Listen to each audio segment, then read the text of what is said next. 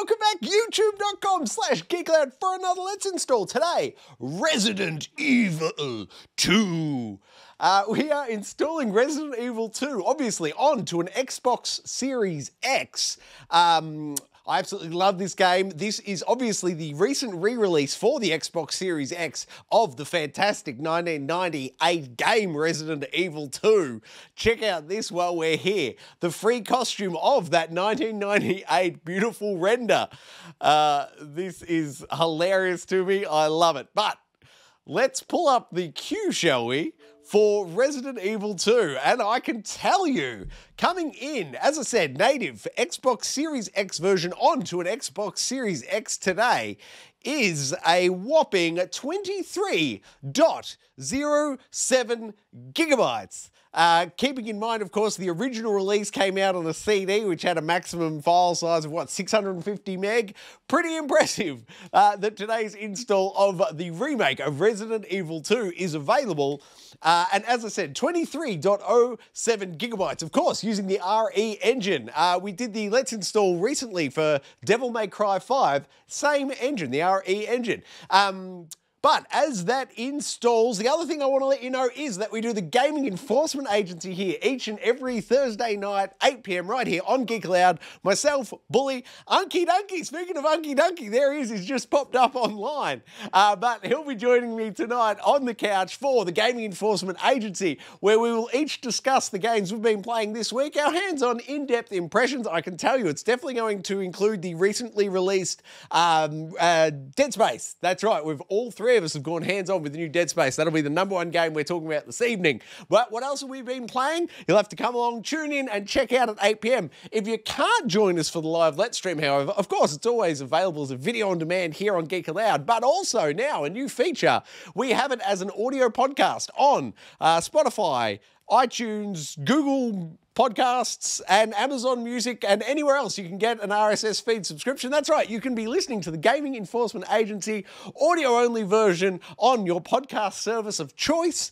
Uh, so please check that out, uh, like it, and subscribe it you know, do us a favor on the podcast front. The more that you uh, review it and star it up, the more people will find it and the better the show will get as a result. So, thank you for your help there. Oh, the other thing I need to note about Resident Evil 2, we also have the Resident Evil 2 install for PlayStation way back on the channel for when it was first released. I want to say it was about two years ago at this point. But if you go back to the re, if you're interested in the remake Resident Evil 2 uh, from a few years back on PlayStation, that's also available back a fair way in the archives of the Let's Install series. That's right, they span back over four years at this point. We're almost, I think, at our 500th install. I'll have to run the numbers and check, but that can't be too far away. But for now, let's install Resident Evil 2 right here, youtube.com slash geekaloud.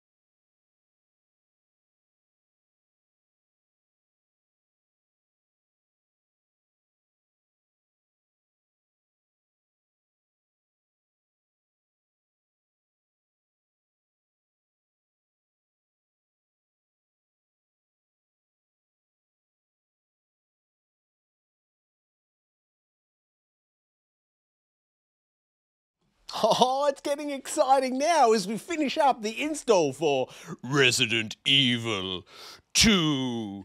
Hopefully, not too much evil. Man, there's been a lot of uh, demon slaying on the old uh, Geek Aloud recently, haven't hasn't there? We've been we've done uh, what was it, the Callisto Protocol? We've done uh, Dead Space. We've done Resident Evil. We've done uh, uh, Devil May Cry. My goodness, it's almost like there's a theme emerging here, totally unintentionally. We're just slaying evil here on Geek Aloud. Thanks for joining us. Speaking of joining us, come along tonight, 8 p.m. for turn the subtitles off for uh, yeah, that'll all work. Come along, 8 o'clock tonight for the Gaming Enforcement Agency. That's right. It's our weekly video gaming podcast here on Geek Aloud. Ooh, ray tracing on, yes, please. High frame rate mode. Oh, we've got to disable. Wait, wait, wait. Go back one. High frame. This feature cannot be used with your current hardware configuration. Oh, I bet that's set at the Xbox level, but that's pretty crazy. Man, look on the floor there. Look at the shadow, the details, the reflections on the floor there as we flick ray tracing on and off.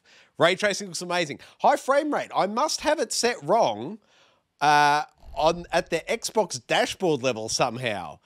Uh, yeah, you can go ahead and connect. That's fine. Options. Let's pop open the options menu. See what kind of uh, options we have. I always love a good uh, button map. I appreciate one of those. Auto reload on, sure. Uh, controller vibration on, 100%. You need that immersion, the shake in the old man hands. Grr, you're in trouble. Uh, camera inversion, no thank you. Uh, field of view, oh, check this out. Hey, Bully, as Bully will attest, you always want the maximum field of view. Personally, I love it. Bully absolutely hates it. He thinks you may as well be watching your TV through a fishbowl when I crank it up. But for me, more situational awareness. I'm all about it. Uh, camera speed, camera wobble. I'll leave it on. If you're susceptible to motion sickness, though, go ahead and turn that off. You'll feel better for it. Uh, film grain, you know what? I'm going to turn off a bit of the film grain. It's a bit more uh, atmospheric, some may argue. However, as I am easily distracted, which is why I have to turn off the subtitles, the film grain can actually distract me at times. So I'll turn it off for that reason as well. Uh, red dot uh, dot sight red. I love red. I know Unky Dunky prefers a green one there. Uh, tutorials can stay on. HUD can stay on. Audio, standard fare there. Nothing I think I need to change. Language, English, English, subtitles off, yes please. Now, the high frame rate, we'll dash on out to the Xbox dashboard. We'll have a tweak of that in just a moment. Uh, we can leave that on, we can leave that on, and we don't want to watch the credits. All right, so let's take a moment and try and fix the, actually I'll hit B just because I don't know if it's saved by default, but Let's jump on out now to the Xbox dashboard. And before we pull up the particulars and wrap up this Let's Install, I'm going to see if we can't um, pop the hood and fix the TV display options. No, check that out. Resolution 4K, uh, 120 hertz refresh rate. So that should, by rights, allow 50 hertz, allow 24 hertz oh, maybe we need to allow variable refresh rate, though my monitor can't handle this. So that was an incredibly silly thing to display. Oh, we'll hit keep. I didn't think my monitor would let that happen, but it has. Maybe that's the ticket. Variable refresh rate. As it's the only other option left to check, let's hope that was it, shall we? Now, uh, to be a thorough job, we will quit the application, then relaunch it on the off chance it cached my system preferences. And just by going back in via quick launch, it may not repoll uh, the operating system and ask for the display settings. So it mightn't have picked up the little tweak we made. So by quitting it and then relaunching it, we know that the system profile it generates to work off will include that most recent change. So now, hopefully, maybe if we go into that options menu, will it give us, uh, where was it? No, it's graphics, isn't it? If we turn ray tracing off, the only other thing could be that maybe we need to turn ray tracing off and go out. And then I'm going to try one more time. We'll go back to the Xbox dashboard and we will quit, options button, I don't know what they call it anymore. I always prefer to call it the uh, start button. But once the game's quit, we'll relaunch it. As I said, I want to make sure it's got a fresh profile view of the console so it isn't uh, keeping old preferences there and disabling it by default. But I can't imagine why, unless it's the HDR setting. Maybe with HDR enabled, it can't. We're going to experiment there. We're going to we're going to get this. Give me a moment, please. uh, we'll go into the options menu here. Start game. I always hit the start button when that comes up. I know it's totally unnecessary. Ah, no, not story mode. Options, please. Graphics. Ray tracing off. Still can't turn high frame rate on. What if we go into display and turn off, uh, not the HUD, HDR. Can we disable HDR maybe? Can't see the disable there. So, haha, how about this? We'll go out. We will uh, hit the start button, if you will, or options. We'll hit quit on there, and then we'll jump on into the TV options and we'll disable HDR if I can remember where that setting lives. Video modes, maybe? Auto HDR, we'll turn that off and we'll leave the rest. Oh, HDR10, there you go. We'll turn off both HDR options which is high dynamic range. Sorry for just throwing acronyms at you. That's high dynamic range. It allows a greater spectrum. If you uh, if you want to visualize it, imagine standard brightness is from zero to 100. With HDR turned on, it's more like zero to 1,000. You've just got a far greater spectrum of light and dark or grey areas in between. So it enables way deeper looking shadows. You can get a lot more definition in the shadows, which looks fantastic. Uh, however, if we leave that and all by default, once again, I've got studio lights in my eyes here, so don't go by that. But let's have a look at this now and see if it will allow us in the options and graphics too. we still can't turn on high frame rate. We can turn on ray tracing without HDR, but we cannot enable for the life of us Unless it's the film grain noise. Surely not. Surely it's nothing to do with that film grain.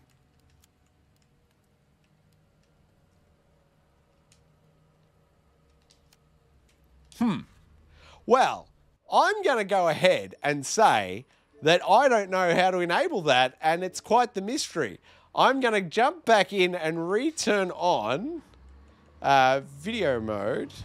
Let's turn back on the HDR options because that's something I would totally leave off and leave myself uh, in all sorts of trouble.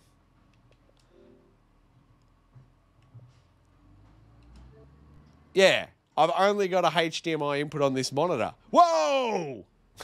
I'm going to go ahead and disable that. We will let it do just whatever it likes. Uh, oh, now it can't see 4K. But that's an interesting point. Now that it can't see 4K, what does it give us? No, you can't.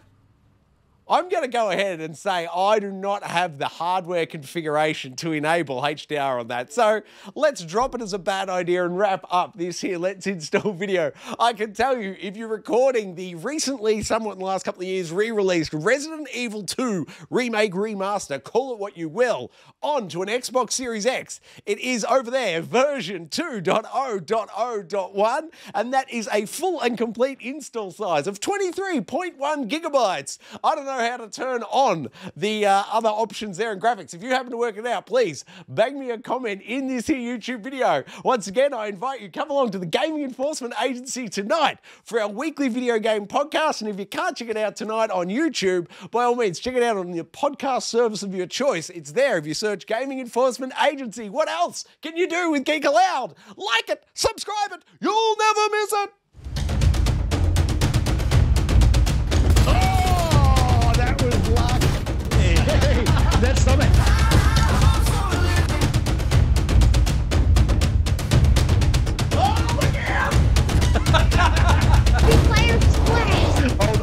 Donkey. Haji Donkey.